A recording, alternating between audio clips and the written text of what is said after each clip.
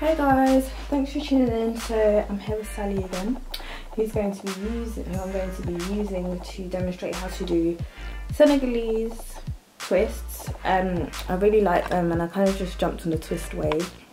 I know I've been doing head for years, but it's literally only now that I've started. I started doing twists. To begin, you're going to just section your hair. I'm doing this very roughly with my hands, just for the purpose of the video. I'm going to take quite a big section just so you guys can see clearly what I'm doing. And then you're going to take your Kanekalon hair. I'm using the braiding hair from Trendy Tresses. This is what it looks like. Um, I'm going to use about about this much. So as you can see, the ends are quite um, blunt. So I'm just going to pull on them, pull them down, so that they're not blunt anymore because this will help the twist to stay in basically. So you're just gonna pull on it like that. Okay, so now my ends are not blunt anymore. What I'm now going to do is just take this side into half, like that. I'm just going to split it down the middle. And this is the starting point for our Senegalese twist. Split it down the middle. I'm going to show you the normal way first as I've said. So you're going to take the middle of our hair. You're going to place it in between the two strands that we've just split like this. So as you can see, it's just right in the middle. You're going to hold this side to one side. You're going to take this side that's on my left and you're going to start rolling it away from Sally's face. So you're just rolling it like that making sure that the root is nice and tight, well taut basically, so that it just stays. You're to roll it till you get to about there. You're going to hold that to one side.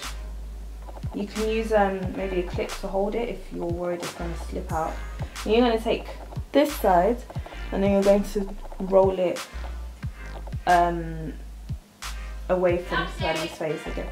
Lola, I'm recording. So you're going to take this side and you're going to roll it away from Sally's face. So you're basically rolling both sides anti-clockwise. Like so.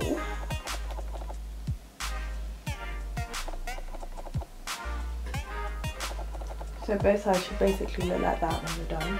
And then you're going to take the side that we started with, so the side on the left.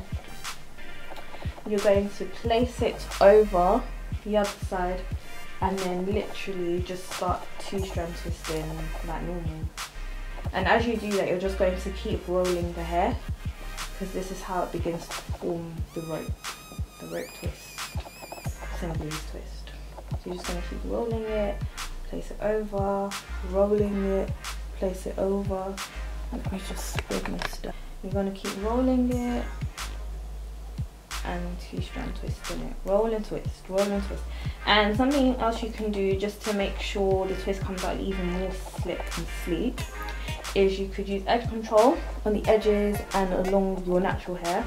So that it just kind of all blends more naturally so more nicely and just looks more slick and sleek really.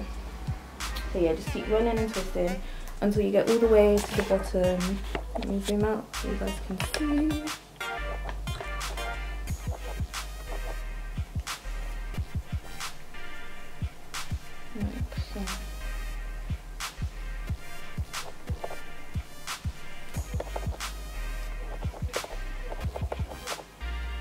as you see it's really easy. It's not it's not difficult. I guess the starting point is a bit tricky at first. Even me I found it tricky when I was first doing it which is why I discovered the other way. But yeah once you get the hang of it it's quite straightforward. But I personally prefer to do it with the Marley hair because it just blends better with my natural hair which is more kinkier. And it's just the hold is a lot better than this kind of hair. But I like this look as well. So yeah just keep plaiting that sorry not plaiting twisting that. So roll and twist roll and twist is the motion of this. Roll and twist roll and twist roll. And as you can see it's looking like a rope which is what you want.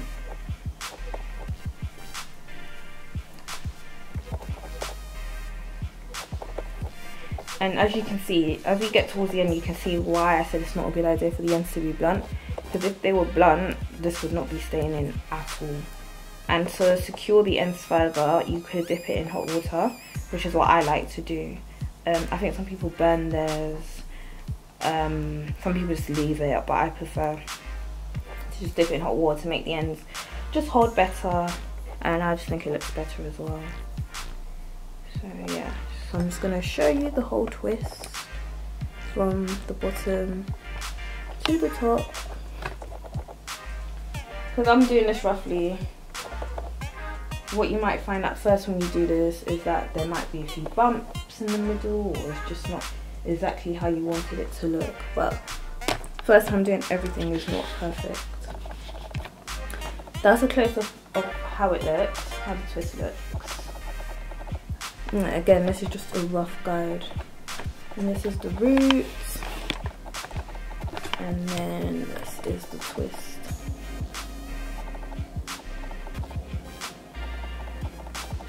From all the way to the top to the bottom. Zoomed in. So this time you're basically going to do the same thing but anti-clockwise. So you're going to place her in the middle, take this side and go, do it going towards her face, roll it going towards her face.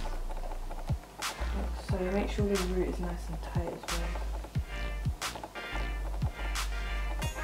You're doing, side you're doing going towards her face as well. So, and then what you're going to do is take this side on our right, you're going to put it over this side and then just simply start twisting it. And as you can see, so same thing, you roll and twist. So make sure you get the root nice and tight, otherwise that will happen. You don't want that to happen. Meeting up the top, I don't want to leave it like that. This side here on the right goes over and then you start twisting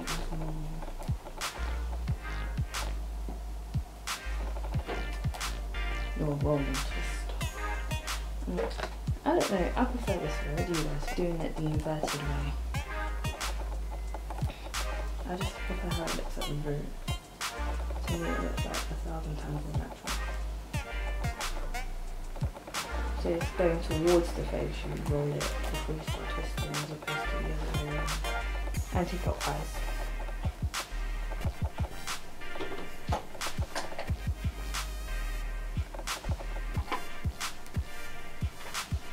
That is your twist.